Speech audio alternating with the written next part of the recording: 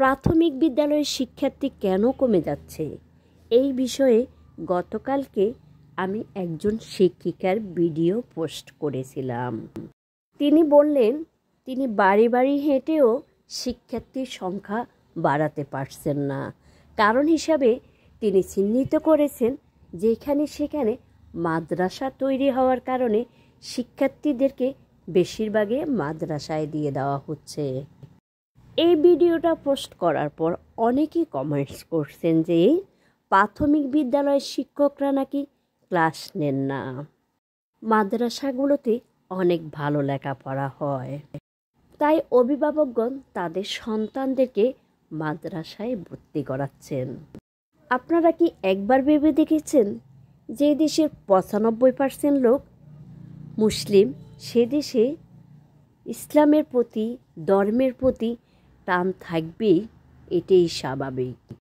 আর ওই শিক্ষিকা বললেন, তারা যখন বিদ্যালয়ে একটি মক্তব চালু করেছেন, তখন থেকে শিক্ষার্থীর সংখ্যা বাড়তে শুরু করেছে।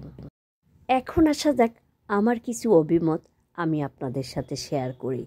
যদি আমার অভিমতগুলো আপনাদের কাছে ভালো লাগে, তাহলে অবশ্যই লাইক, কমেন্টস দিয়ে আমার পাশে থাকবেন। প্রাথমিক বিদ্যালয়ের সময়সূচি হচ্ছে সকাল নয়টা থেকে চারটা পনেরো মিনিট পর্যন্ত।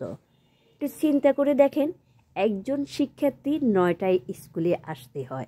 তাহলে তাকে দূরের যারা স্টুডেন্ট আছে, তাদেরকে বের হতে হয় আটটা বাজে। আটটায় যদি বাড়ি থেকে বের হতে হয়, তাহলে দেখা গেছে এর আগে তাকে স্কুলের জন্য প্রস্তুতি নিতে হয়।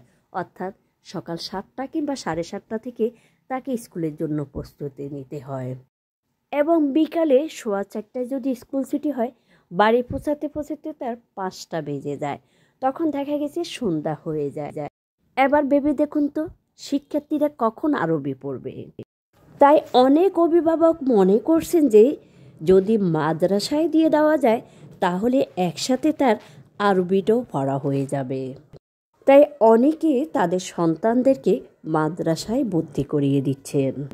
তাই আমার কাছে মনে হয় সময়টা, অর্থাৎ বিদ্যালয়ের সময়টা যদি সকাল দশটা থেকে হতো, তাহলে অনেক শিক্ষার্থী মক্তবে বা হুজুরের কাছে পড়ে আরবিটা শেষ করতে পারত। এতে প্রাথমিক বিদ্যালয়ের শিক্ষার্থীর সংখ্যা আরও বৃদ্ধি পেত। আপনারা কি বলেন?